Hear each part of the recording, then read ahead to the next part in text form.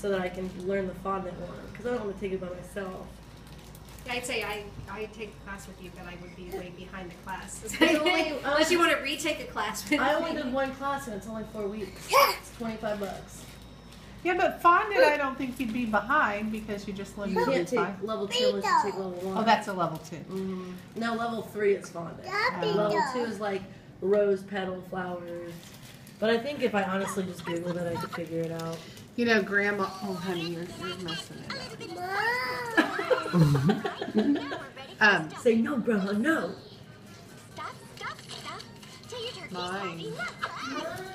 starting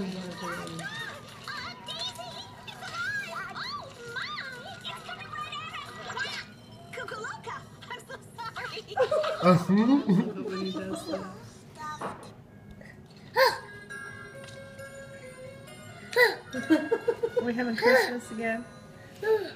Somebody posted pictures.